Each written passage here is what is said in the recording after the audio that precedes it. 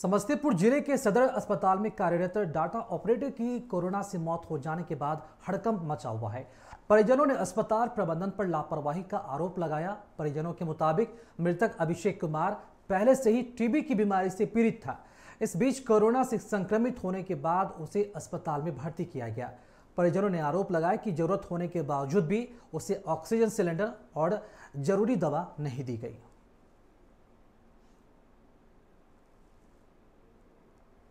एक पेशेंट की अभी आपके मुर्दिवा अस्पताल में मौत हुई है। क्या मामला था सर उसमें? देखिए, वो तो पहले से ही किडनी से सफ़र कर रहे थे। यहाँ से उसको रेफर किया गया था, मगर वो नहीं जा सके। और मन में ऐसी धारणा बनी हुई थी कि यहाँ जो स्थिति हमारी है, उस स्थिति हम नहीं उबर पाएँगे। तो आज उनका यहाँ एक्सपायर हो गए हैं। गाड़ी आ रही है, डिस्ट्रिक्ट से। और इनका जो घर है वहाँ और वहाँ से स्मशान तक व्यवस्था कर दिया जाएगा। सर उनका कहना है कि को जो यहाँ पैरामेडिकल स्टाफ है वो देख रेख नहीं कर रहे थे खुद को ऑक्सीजन वगैरह लगाए थे इस पर क्या कहना चाहेंगे सर? नहीं खुद से ऑक्सीजन कैसे लगाएँगे? यहाँ के जो परा स्टाफ हैं नर्सेज हैं वो जाकर के लगाएगी।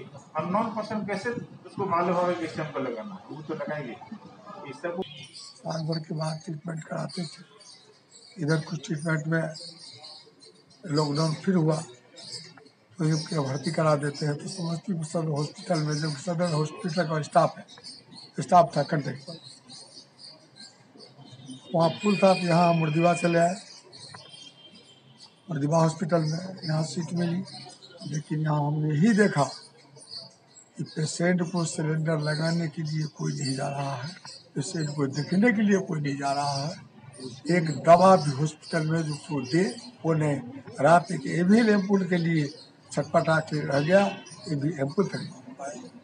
तो यहाँ लोग मौजूद थे परा, स्टाफ मेडिकल स्टाफ थे वो मौजूद था कि नहीं था? हॉस्पिटल में मौजूद था स्टाफ हाँ सब मौजूद था। उसके बावजूद आपके पेशेंट को नहीं देखा गया? कितने बजे उनकी डेथ हुई है? चार बजे